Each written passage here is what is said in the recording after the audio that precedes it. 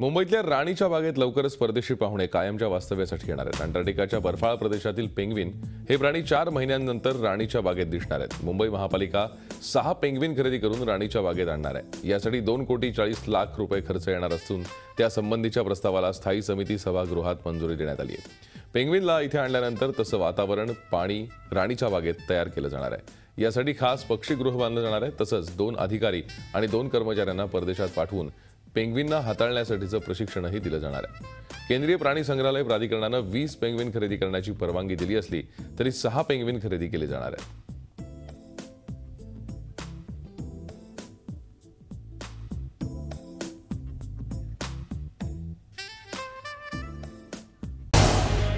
Zee चोवीस तास. रहा एक पाऊल पुढे.